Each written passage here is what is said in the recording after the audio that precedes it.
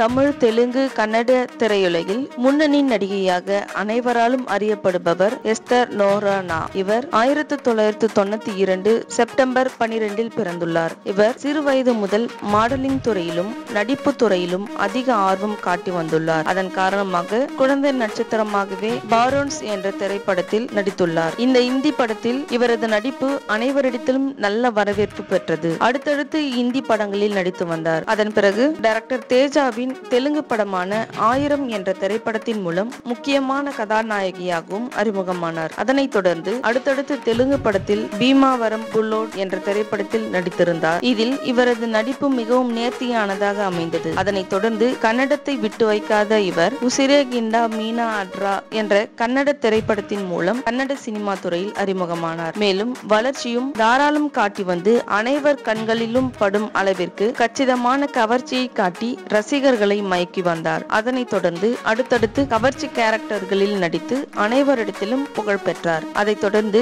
மீன் குழம்பும் மண்பானையும் என்ற தமிழ் திரைப்படத்தின் மூலம் தமிழ் சினிமாவில் அறிமுகமானார். இந்த திரைப்படத்தில் நடிகர் பிரபு மற்றும் காளிதாஸ் ஜெயராம் அவர்கள் முக்கிய கதாபாத்திரத்தில் நடித்திருந்தனர். மேலும் சிறப்பு தோற்றமாக கமல்ஹாசன் அவர்களும் நடித்திருந்தார். இந்த படத்தில் இவரது நடிப்பு மிகவும் பிரமாதம் என அனைவராலும் பாராட்டப்பட்டது. அதனைத் தொடர்ந்து ஹிந்தி மற்றும் தெலுங்கு கன்னட மொழிகளிலும் இவர் மிகவும் பிரபலமாக நடித்து வந்து கொண்டிருந்தார். எந்த அளவிற்கு சினிமாவில் கவர்ச்சி காட்டுகிறாரோ அதே அளவிற்கு சோசியல் மீடியாவிலும் மிகவும் கவர்ச்சி காட்டி ரசிகர்களை கிறங்கடித்து வருகிறார். அதன்படி தற்போது இவர் வெளியிட்டுள்ள புகைப்படங்களில் தனது அந்தரங்க உறுப்பு தெரியும் அளவிற்கு ரசிகர்களுக்கு இன்ப அதிர்ச்சி கொடுத்துள்ளார். மேலும் இந்த புகைப்படங்கள் சோசியல் மீடியாவில் வைரலாக பரவி வருகிறது.